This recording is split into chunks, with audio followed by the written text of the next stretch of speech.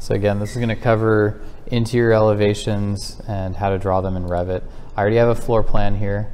Um, I'm in plan view. I'm going to go to view and under the elevation dropdown, I'm just going to hit elevation and then over here you can choose between a building elevation and an interior elevation. So I'm going to set that to interior elevation and when you mouse over your plan, it'll look to find a wall. So I'm going to choose uh, this wall here and then hit escape. Then selecting on that, I can check boxes for the other walls that I want to show as well in that interior elevation. So once I place these on a page, these uh, regions will populate and I'll see kind of what page it's on and the drawing number once uh, that's placed. So to get to this, um, I can double click on this and you'll notice that interior elevations show up here.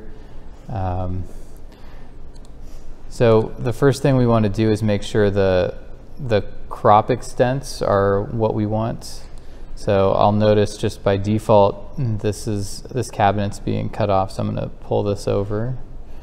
I don't want to go too far over, right? Because now this is showing the door and, and kitchen beyond. Um, I'm going to extend this out just beyond this, and I'll show you in a second how I crop these. Um, pull this up just to show a little bit more.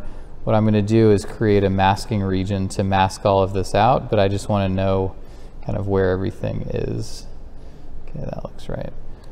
Um, I'm going to pull these levels over.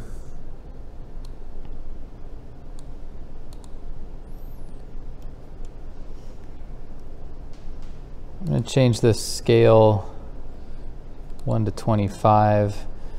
This is, these are um, metric. Um, this project is overseas, but uh, I'm going to hide grade level. That doesn't really apply here. So I'm going to select this and um, I'm just going to right click, say hide in view elements. There's other ways to, to turn that off, but I'm to use that method. Um, whenever you move um, a level in elevation, always make sure that it says 2D. Otherwise, if it's uh, 3D, um, when you move this, it's going to move it in other elevations as well. Imagine it's a kind of two-dimensional plane. Um, so when you move one side from the other view, it'll move that as well. So um, set this to 2D and it'll only affect this view. And I can do the same thing here. I'm going to pull these over so that they have some breathing room. Um, the next thing I'm going to do is create this uh, masking region. It'll create kind of a picture frame and ensure that I have a solid line around the entire perimeter of this. Um, otherwise, Revit will sometimes, you know, accidentally crop uh, one of the lines. You want you want this to have a full uh, perimeter line around it. So I'm going to go to annotate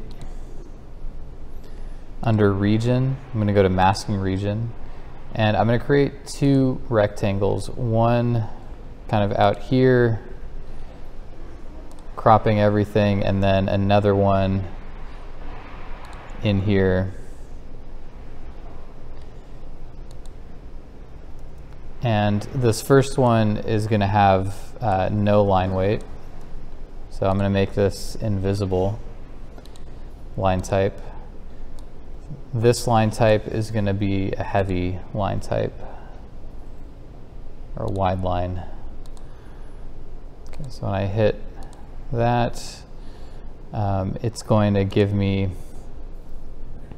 um, kind of a, a, white, basically white out around everything that I'm not interested in.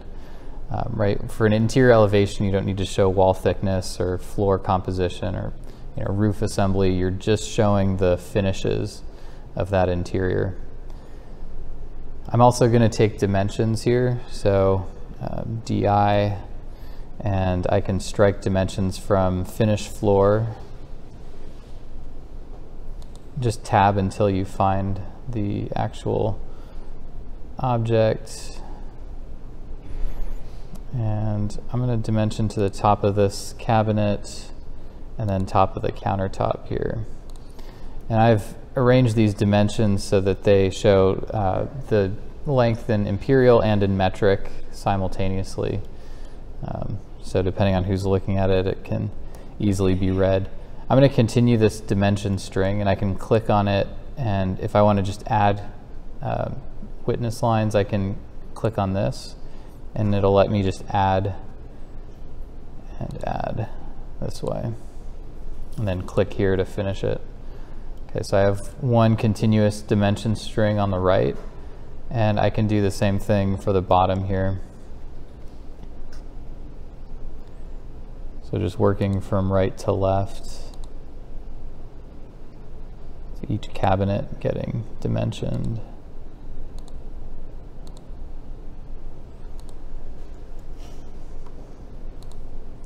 And this line won't show up. This is um, the crop region. So right now it says crop region visible. So if I uncheck that, you won't see it. But this will ensure that this has a, a heavy line for the perimeter of this interior elevation. Um, we've just dimensioned it.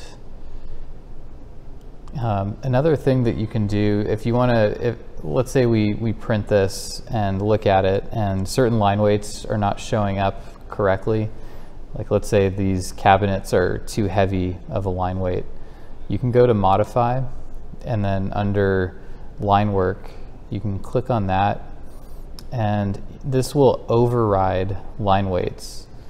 Um, you know, here you can toggle uh, line weights to turn them on and off in your view. If you're working on something technical and you want to just worry about where the kind of border of your object is, you can click on this and work more precisely and then turn this back on when you want a preview of the line weight. So here under line work, I can override the existing line weights. Like for example, let's say this is too heavy for, for my preference. I can set this to thin lines.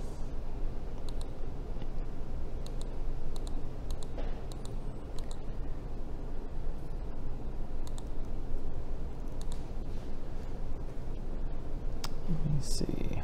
Let's try making one and if for some reason the line weights uh, that are showing up here, the line types are not what you're looking for, you can go to manage additional settings and line styles. You can create your own um, line style here. So you'll notice that these are the, the line weights. So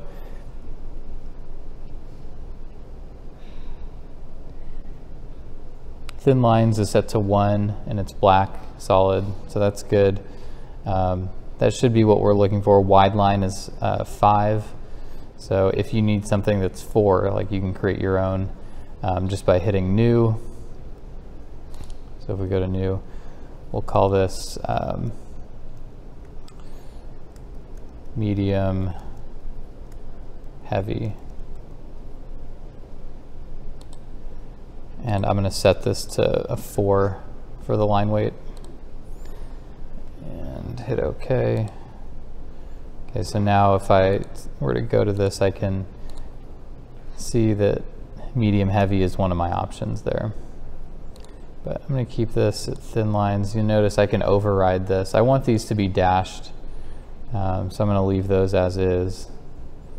And it looks like all of these are already set to thin lines, so I can't really affect that, but just for future reference, that's how to override a line weight or a line type.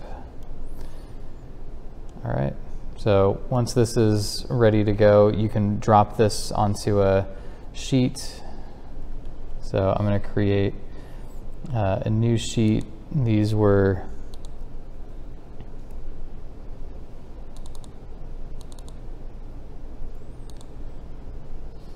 A1 metric so metric, they use different sheet sizes. So I'm going to go to view, sheet, use this A1 metric, and create all of my interior elevations. I'm going to drop these onto that.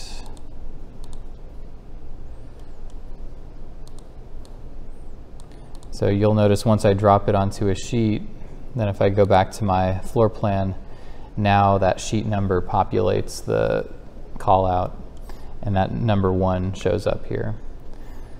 So that's the method for creating interior elevations and dropping them on a sheet.